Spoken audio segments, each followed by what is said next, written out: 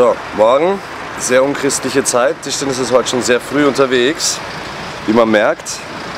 Wir besuchen heute unseren Tischler in Meierling und der zeigt uns, wie unsere geilen Tischtennistische überhaupt entstehen. Ich würde sagen, machen Sie auf den Weg.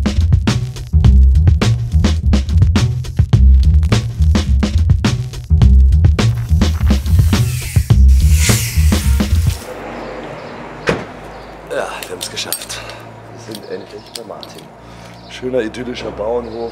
Das ist dort, wo unsere Tische gemacht werden. Wir sind in der Tischlerei von unseren beiden Freunden Martin und Mario. Die bauen seit zwei Jahren unsere Tische. War eine lange, elende, quälende Entwicklung, aber sie hat trotzdem Spaß gemacht, weil wir haben was Gutes rausgebracht.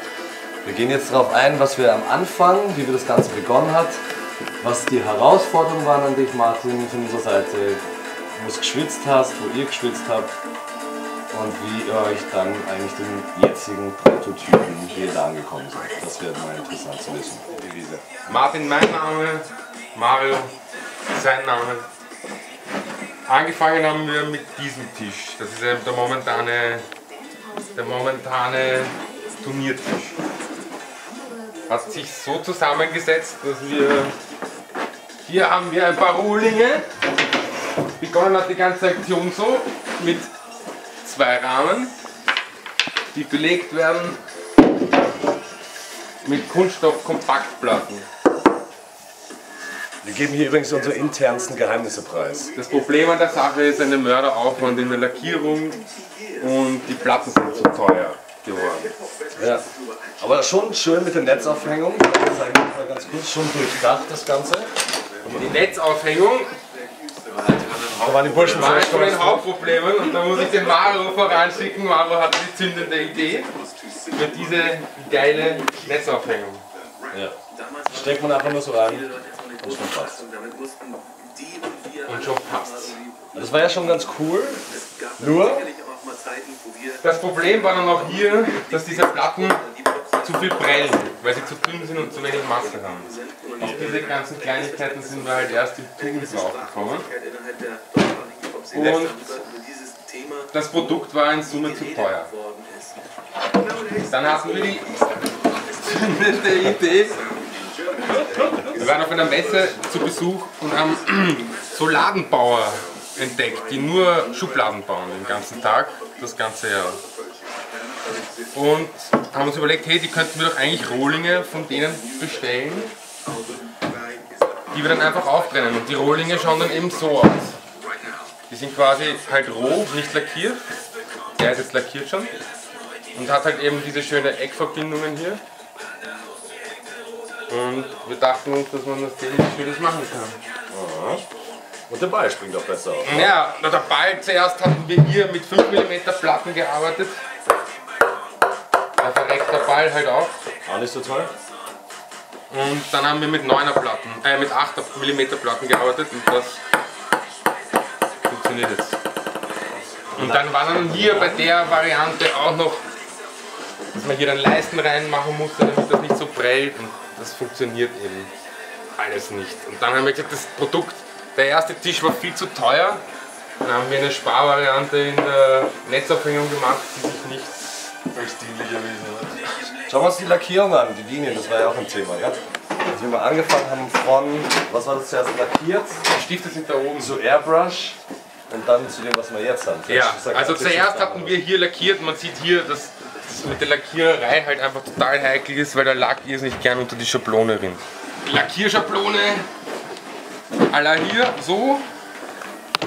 Nur das Problem ist, dass eben der Lack so gern unten reinrinnt. Und dann sieht man halt diese wunderbaren Ränder hier, die halt einfach auch nichts können in einer Serienfertigung. Zuerst war dann noch dazwischen eine Lackstift-Variante. Lackstift-Variante aller Graffiti-Shit.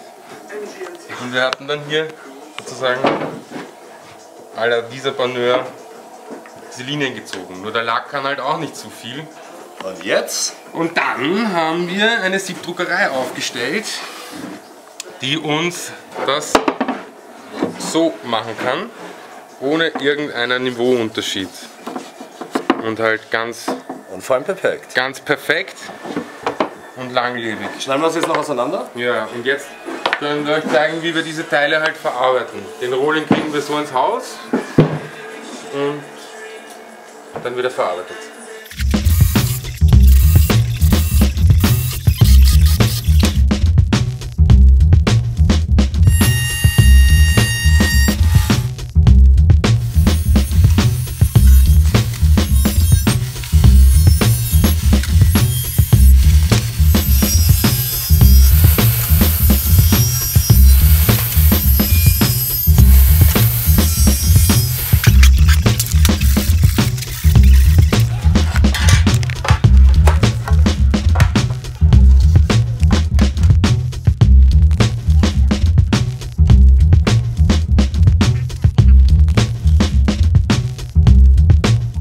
Sehr schön, ist schon ein bisschen was anderes als so eine billige China-Platte. Ein österreichisches Produkt, handgemacht, wie ihr gesehen habt. Jetzt ihr seht, was da für Technik und Technologie dahinter steckt. Das ist nicht schnell gebaut, obwohl es jetzt nur noch ein paar Handgriffen aussieht, aber... Genau. Jetzt kommt es in Siebdruck, kommen die Linien drauf, kommt die Farbe drauf. And off for shipping. Martin, was hast du noch irgendwas zu sagen? Ohne Mario würde das ganze Projekt genauso nicht funktionieren wie ohne mich und ohne euch. Sehr gut. Und noch was? Schleicht euch, bitte. Wir schleichen uns wieder. Danke. Ciao, bitte. So, und damit verlassen wir dieses idyllische Plätzchen wieder. Immer wieder schön Ausflug aufs Land zu haben und fahren jetzt zur Siebdruckerei. Ähm, wir sind jetzt nicht bei der Siebdruckerei, weil wir da leider nicht rein dürfen wegen Industriespionage. Das ist natürlich eine sehr hochentwickelte Technologie, die wir dafür einsetzen. Verstehe ich auch. Deshalb gehen wir jetzt mal zu unserem Freund Freddy, dem Schneider.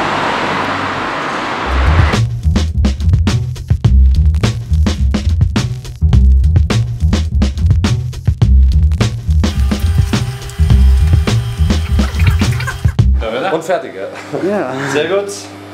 Wie man sieht, Maßarbeit, man kann sich das auch genau anschauen. Das ist alles schön exakt gemacht, dass dieses Qualitätsprodukt auch beim Netz fortgetragen wird. Danke, Freddy. Megan Austrian. Tschüss. Wir sind jetzt dort, wo alles begonnen hat, nämlich im Zweitbester, dem Geburtsort von Tischtennis.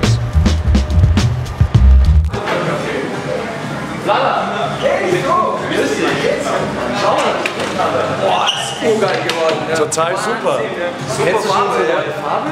Ja, das ist super. Das ist echt ein toller Tisch geworden, oder? Ja. Schau mal, kannst du auch reinschauen. Da ist alles drin, was du brauchst. Sollte man vielleicht noch da... Ja, vielleicht nutzen wir das noch dafür. Du hast einen Kaffee, Harika-Kaffee. Harika-Kaffee, kleine Schleichwerbung hier am Rande. Ja, was sagst du zu Filmen? Ja, der ist wirklich wunderschön. Schön, oder? Geworden, ja, ne? Das ist nämlich die Geburtsstunde von Tischtennis. Ich erinnere die ersten. Ja, rede du zuerst. Entschuldigung, also wir sind jetzt im Zweitbester übrigens, das ist Vlada, das ist der Abwäscher. Und wir haben hier angefangen, Tischtennis zu, ins Leben zu rufen. Und schön jetzt hier bei unserem Freund Vlada, dem Abwäscher, zu sein. Und ja, was wolltest du sagen? Ja, ich wollte sagen, die Farbe ist richtig schön geworden. Schön geworden, ja. Mhm. ja. Noch was? Gut, also kauft unsere Tische, die sind super. Sag auch Vlada, der Abwäscher. Super. Es gibt fünf verschiedene Farben, oder? Ja, fünf verschiedene, genau. Ja, ja, ja. Bitte Tischtennis-Tisch, ja, könnt ihr auch hier bestellen, überall, ja, ist wurscht, ja. Einfach kaufen, kaufen, kaufen. Super Geschenk zu Weihnachten, Silvester, äh, Juro-Silvester, alles mögliche. Geburtstag. Geburtstage, äh, Hochzeiten, alles mögliche. Ja. Gut, so, du gehst mal wieder abwaschen. Was? Ciao, geh mal abwaschen. Tschüss. Kauf den Tisch. Ja, super.